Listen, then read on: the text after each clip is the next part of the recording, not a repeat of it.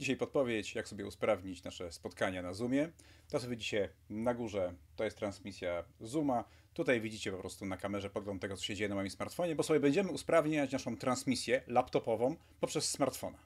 Otóż jestem gospodarzem transmisji, natomiast na smartfonie mam link do tej transmisji, łączę się, czyli będę dwa razy tak, e, występował na tej samej transmisji, dlatego że ze smartfona chcę udostępnić sobie coś, co nosi nazwę Share Whiteboard, czyli taką tablicę.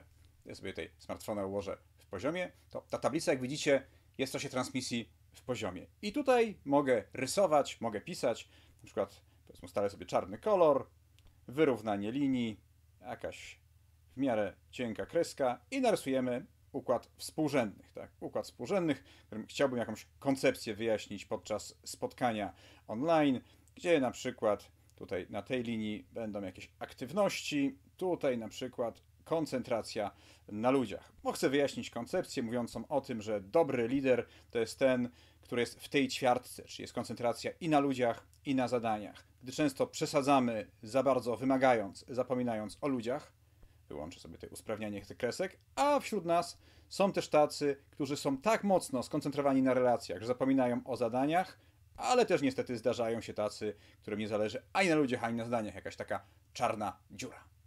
No i po narysowaniu jakiegoś wykresu czy zrobienia notatki, możemy ją zachować tutaj w albumie smartfona, a potem na przykład po wideokonferencji rozesłać uczestnikom.